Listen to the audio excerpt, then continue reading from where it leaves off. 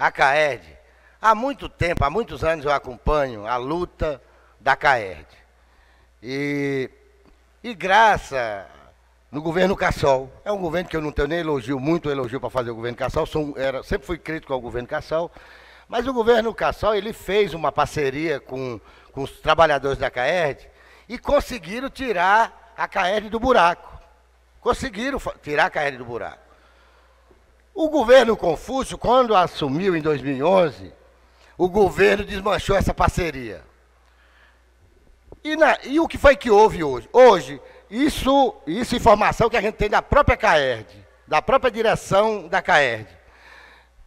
Hoje o governo de Rondônia tem um bi, um bilhão, 250 milhões de reais para saneamento básico no, no nosso estado. Porto Velho e várias cidades aqui do nosso estado. Ariquemes, Jaru e outras cidades aqui do nosso estado. Segundo a CAERD, a direção da CAERD, para poder executar, executar essas obras, era necessário melhorar a estrutura, a estrutura da, os quadros da CAED para poder dar andamento a é, é, esses investimentos do governo federal, que isso é tudo dinheiro, a maioria de fundo perdido, e que seria uma, uma maravilha. É a oportunidade de Rondônia, da, da, de Porto Velho e algumas cidades de Rondônia ter saneamento básico. Se perder esse recurso, pode esquecer que nós vamos, vi, vamos viver, principalmente em Porto Velho, vamos viver dentro do o, o, o, Aécio, meu companheiro Aécio da TV, nós vamos viver dentro da, da esculhambação, até com desculpa da palavra, dentro da merda aqui em Porto Velho por muitos anos. Se deixarem perder esse recurso, que não é fácil você conseguir quase um bilhão de reais para fazer saneamento numa cidade.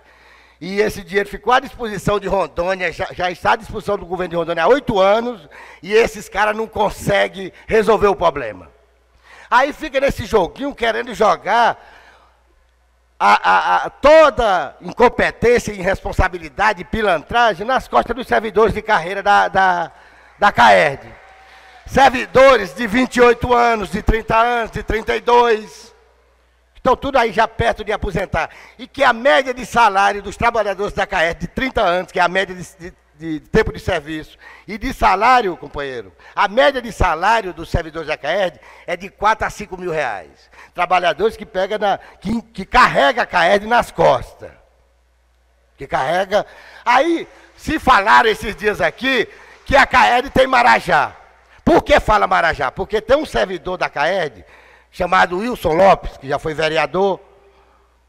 O Wilson Lopes foi presidente, era o chefe naquela parceria do Estado com, com, com a CAERD na época, da, da gestão compartilhada. E depois, devido leis, que, que, a gente pode até discutir se é justo, ou se é, se é imoral, se é justo ou se não é justo, mas, é, mas tinha lei. E incorporaram no salário do Wilson gratificação de, de presidente, de chefe desta, de, negócios aí que ele assumiu, e que o salário dele foi para 20 mil. Nós não podemos chegar e, e, querer colocar. Hoje, o povo, quando vai num, setor da carreta que tem um servidor lá, o povo muitas vezes trata mal o servidor, como se o servidor fosse um bandido. Porque muita gente trata eles como se eles fossem marajá, como se não trabalhassem, ou coisa parecida. E que não é verdade. A maioria dos trabalhadores da CAES são trabalhadores que ganham, que não ganham, que era para ganhar mais, pelo tempo de trabalho e pela dedicação que tem a CAERD.